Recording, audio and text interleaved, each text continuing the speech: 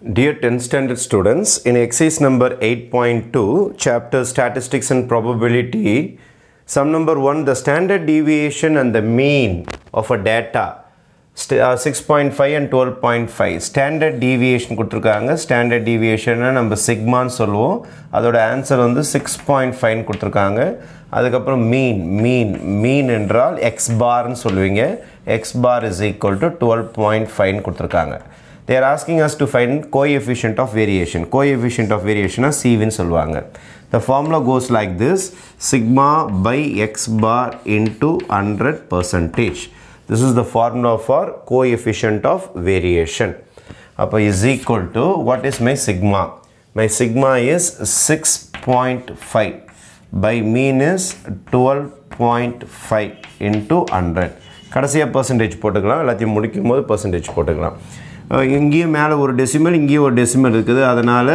டெசிமலில் remove பண்ணிடலாம். ஒரு ஒரு டெசிமல் நியூமரேட்டர்லேயும் டினாமினேட்டர்லேயும் ஒரு ஒரு டெசிமல் இருந்தால் ரிமூவ் பண்ணிடலாம். பிரச்சனை கிடையாது. மேலேயும் கீழேயும் ஒரு ஒரு டெசிமல் கரெக்டாக ஒன்று ஒன்று அப்படின்னு எடுத்துடலாம். ஒன்றும் பிரச்சனை இல்லை.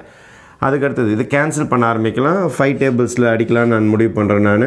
அப்போது five ones are five fifteen வரும் த்ரீ டைம்ஸ் இங்கேயும் ஃபைவ் டேபிள்ஸ் அடிக்கிறேன் நான். Five twos are ten twenty five five times twenty five இதை க்ளீனாக ஃபோர் டைம்ஸ் அடிக்கும்.